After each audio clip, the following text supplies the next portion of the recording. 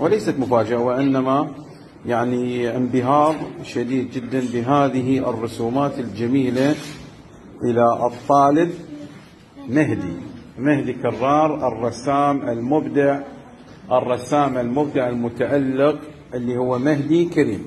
راح نراويكم رسومات آه، التلميذ مهدي كريم في الصف السادس ابتدائي. هذه صورة الإمام علي بن أبي طالب عليه الصلاة والسلام. وهذه أيضا صورة الإمام الحسين.